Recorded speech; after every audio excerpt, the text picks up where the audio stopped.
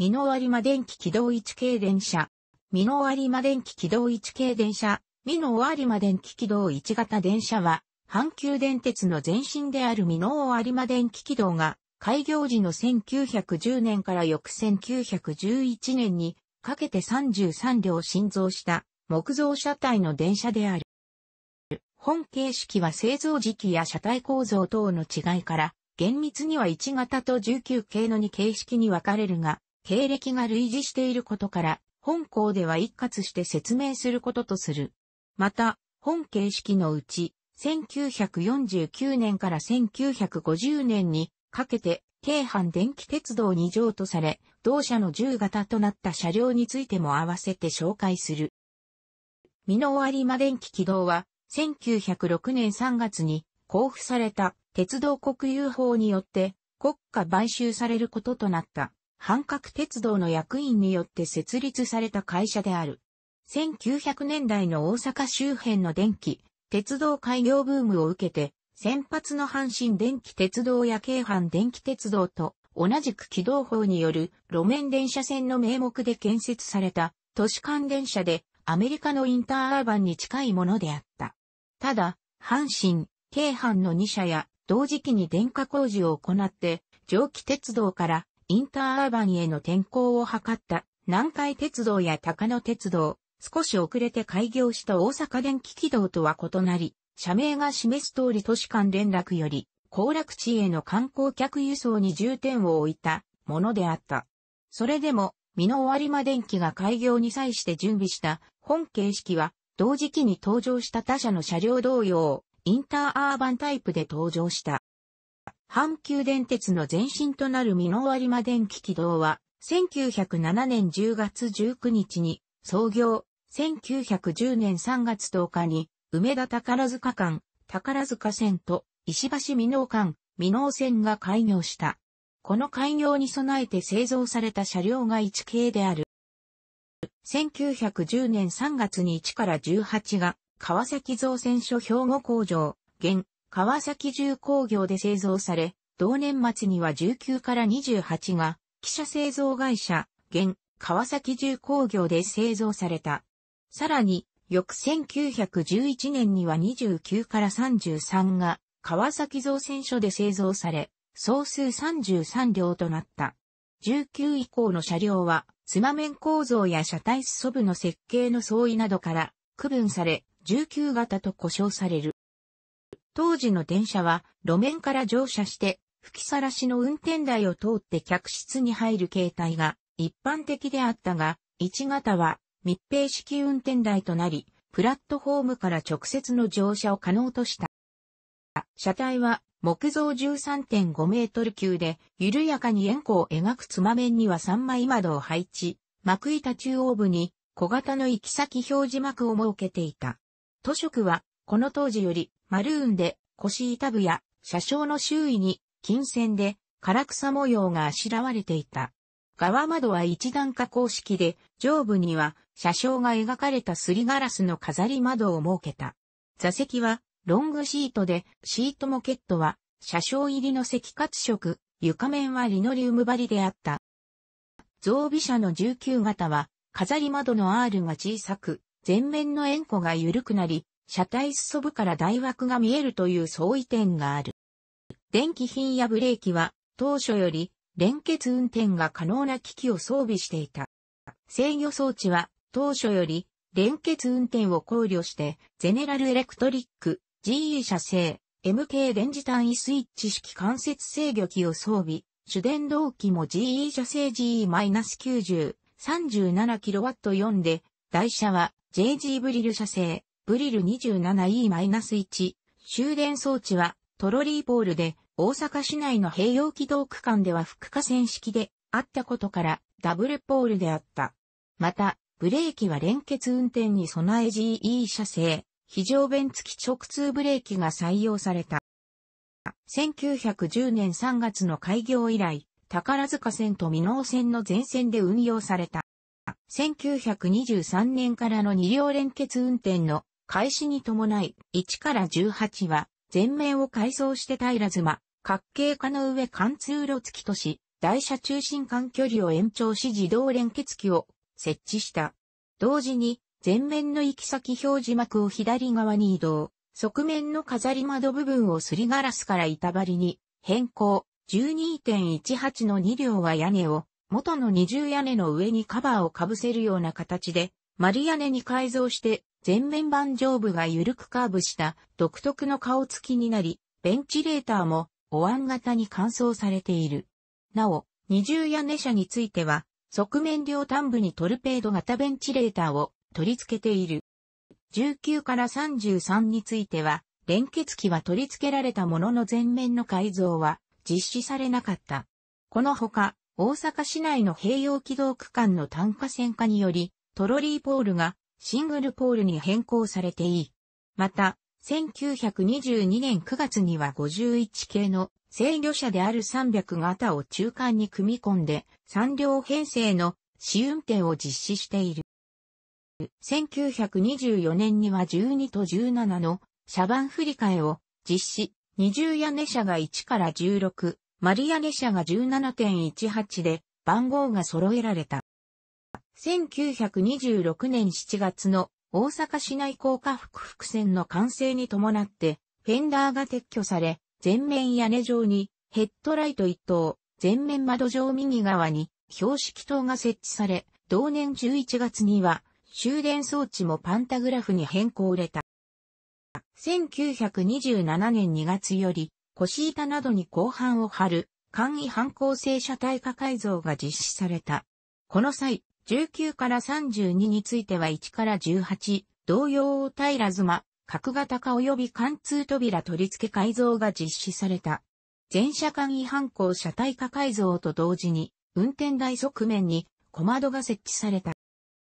19から32は、改造時に側窓の高さを少し上げて、その分幕板を狭く、腰板を広くした。理由としては、南海の簡易反抗車同様、側板に強度を持たせるためとしている。幕板の飾り窓部分は改造前同様板張りであったが、ベンチレーターはお椀系のまま残った18以外は、全車ガーランド型ベンチレーターが取り付けられた。二重屋根車は屋根側面、丸屋根車は屋根上。これにより、側面の印象が1から18とやや異なっている。さらに33は屋根を、車内側も含めて完全な丸屋根に改造してお椀系ベンチレーターを取り付け、側面は両端の扉の幅を広げて位置も若干車体中央寄りに寄せた。また19から32よりもさらに側板を高く幕板を狭くし、前面窓、運転台側面窓の上下辺の高さもそこに揃えた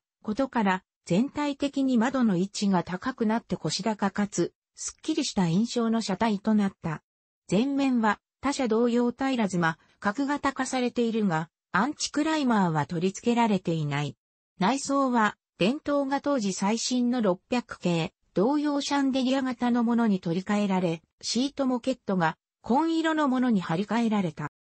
改造後は1から32が、従来同様宝塚線で単行から2両編成で運用されたが、1両だけの特殊な存在となった33は、梅田駅13駅間の折り返し運用に、充当されたほか、貴賓車や貸切用として運用された。また、常時1両で運行されることとなったことから、パンタグラフの故障予備にトロリーポールを装備したことがある。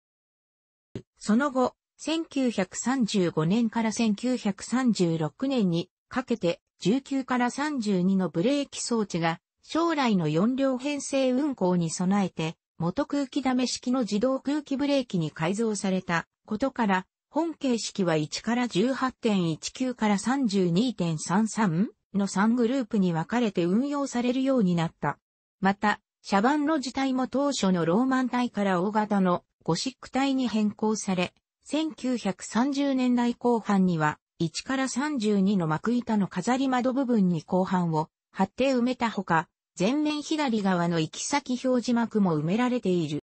1930年代に入り、600型や900型といった大型の心臓構成車の導入で、神戸線から51型や500系、初代が転入してくると、収容力が劣る本形式は2000級扱いとなり、1930年に1から6が、1935年には7から14が客用扉にステップを取り付けて、今津線に転出した。320系の増備に伴って、1936年には15から18.33の5両が未納専用となって小型の37型や40型を置き換えた。19から32はその後も宝塚線で運用されていたが、500系、2代目の最終増備車が登場した1943年に全車今津線に転出し、客用扉にステップを取り付けた。この間の1939年には、当時在籍の他形式同様、等価完成工事を実施している。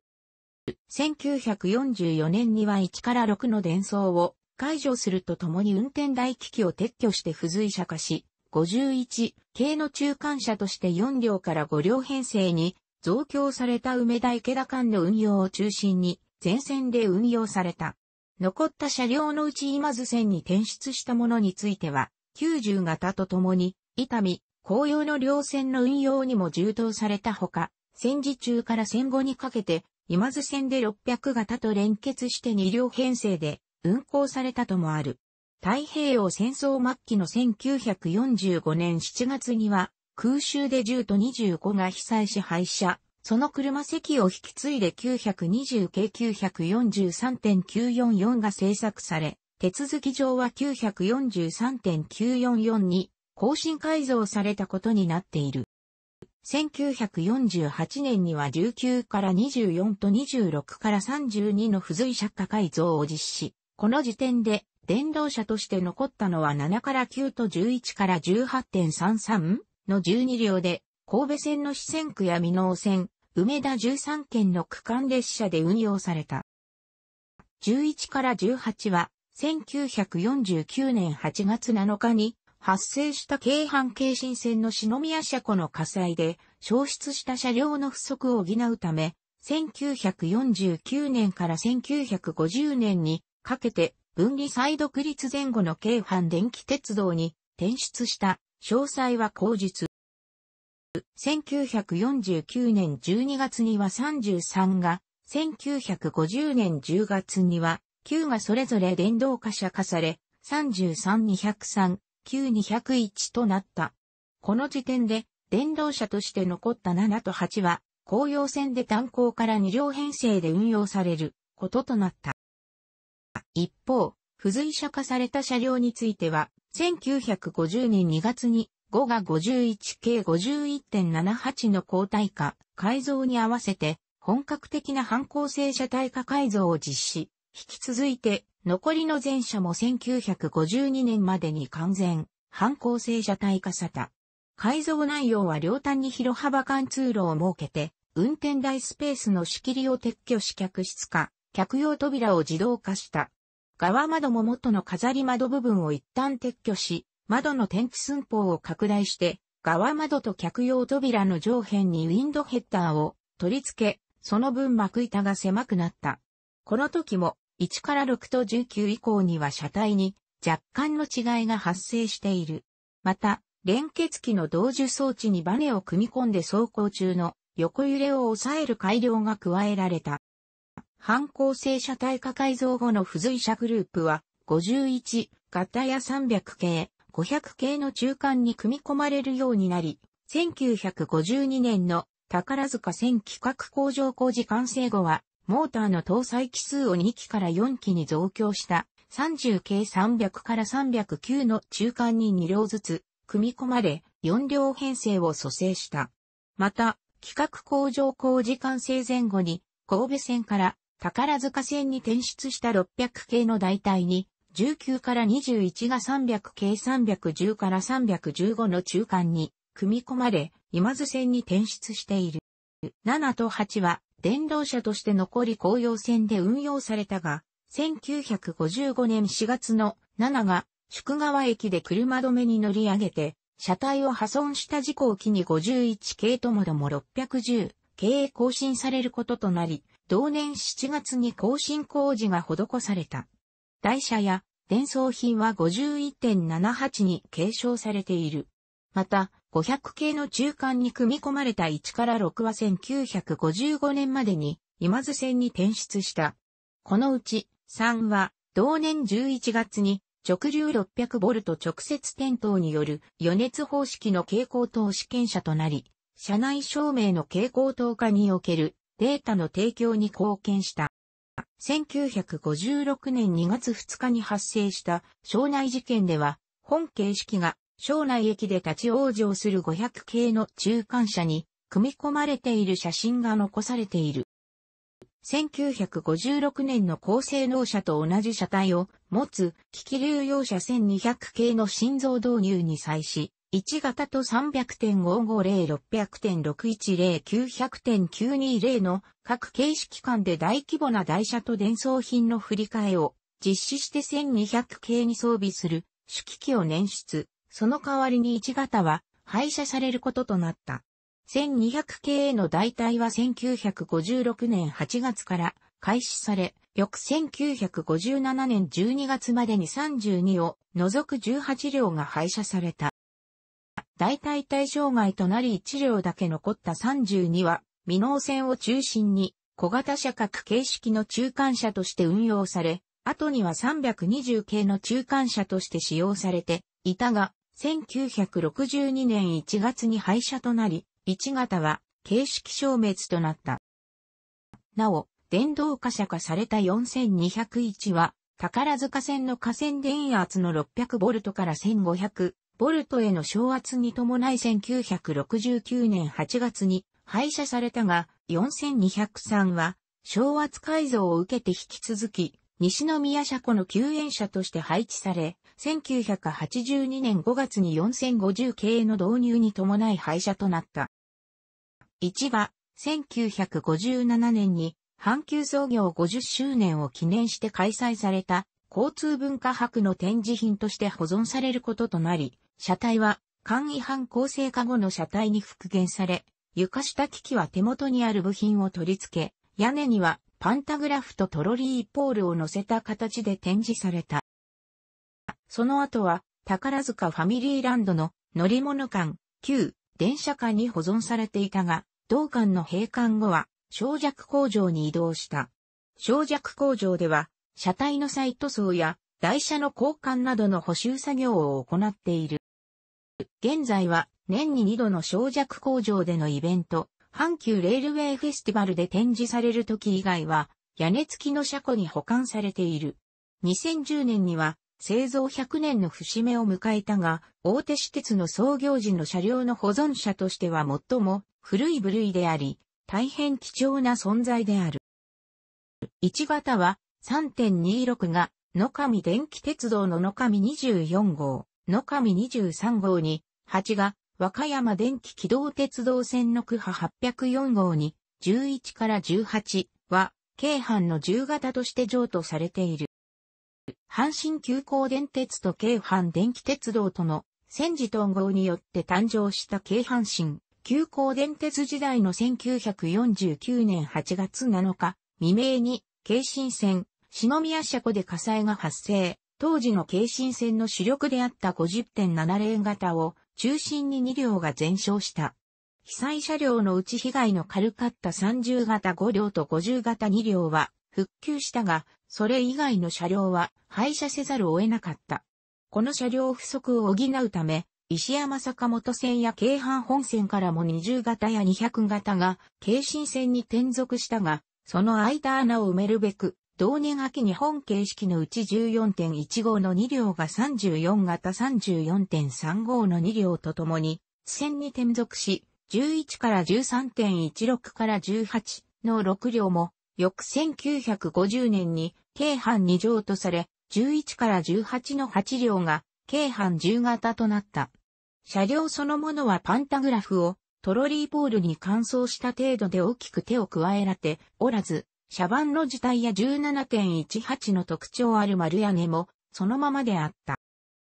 大津線への転属、譲渡に際しては、梅田駅構内にあった宝塚線と北野線との連絡線から北野線に入り、1945年5月に完成していた北野線と大阪市電との連絡線から大阪市電に入線、市電車両に牽引されて野田橋にあった京阪本線との平面交差で、京阪本線に入線、三条駅から京新線に入線して、浜大津駅構内の連絡線を渡って、石山坂本線に入線、西織車庫に入庫して、整備の上石山坂本線での運行を開始した。入線直後は、当色も阪急マルーンのままであったが、しばらくして20.5070の各形式と同じクリームとライトブルーのツートンカラーに塗り替えられ、比叡山登録の田園地帯山田埋め立てが始まる。前の琵琶湖の波打ち材、城下町の面影が残るゼゼ周辺、石山以南の瀬田川沿いといった阪急時代とは異なる。水辺の空間を三条石山寺間、直通急行に充当される。60型、琵琶湖号や浜大津貨物線乗り入れの貨物列車、浜大津三井時間では、高和化鉄道のディーゼルカーと並走しながら走り続けた。1950年代後半から1960年代初期にかけては、京新線車両の体質改善が優先的に進められ、急行用には200型の更新車である260型が1957年以降1963年にかけて19両投入され、普通用には純然たる新車として80型の増備が1961年から開始された。この過程で、京新線から30型が石山坂本線に転入して輸送力増強に寄与した。ただ、30型は篠宮車庫火災復旧後2両固定編成に改造されていたが、元が小型ボギー車のために、ラッシュ時には輸送力が不足したことから、本形式による2両編成運行を開始することにな、ホーム有効長が不足する三井寺駅以南のホーム延長を実施。当初は、大見神宮前石山寺間で2両編成での運行を開始し、1960年6月からは運行区間を坂本駅まで延長して、全線でラッシュの2両編成運行を開始した。その後、阪急に残ったグループが全車廃車されても本形式は1両もかけることなく走り続けたが、次第に本形式をはじめ、石山坂本線所属車両の陳腐化が目につくうになってきたことから、260型の更新完了後は、木造車として残っていた300型、初代を更新した300型、2台を投入することとなった。まず1965年6月に一時車の301から304が登場すると、同年11月に15.16の2両が30型4両と共に代替廃車された。残る6両も石山坂本線向けの更新車である350型に置き換えられることとな、350型一時車が1966年12月から1967年3月にかけて登場すると、本形式が代替廃車されることとなった。結果的に阪急に残ったグループより5年長く使用されたが、1967年2月には11.18の2両が30型4両と共に廃車され、残る12から14.17の4両も翌3月に廃車されたことによって、本形式はついに全廃された。楽しくご覧になりましたら、購読と良いです。クリックしてください。